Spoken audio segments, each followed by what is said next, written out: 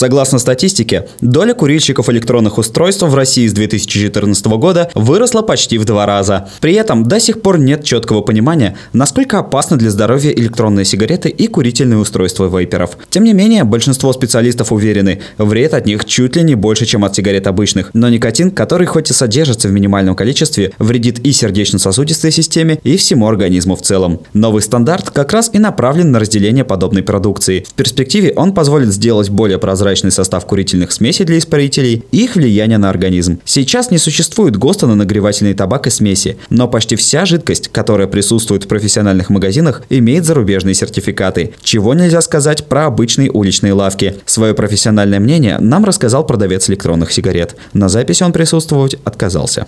Недобросовестные магазины, которые покупают, допустим, там жидкость непонятных из Китая, которые делают там непонятные клоны или так далее. Просто все вот, допустим, премиальные жидкости там из Америки и из России, которые делаются на заводе, там они делаются там, стере- абсолютно стерильные, у них есть все сертификаты и так далее. Но Ну, вообще, принципе, вообще бы не помешал, да. Но, В принципе, ГОСТ нужен. да, ГОСТ нужен. Помимо так называемых подпольных магазинов с жидкостями, сейчас их можно заказать и из интернета. За их качество также никто поручиться не может. Поэтому до введения ГОСТа каждый действует на свой страх и риск.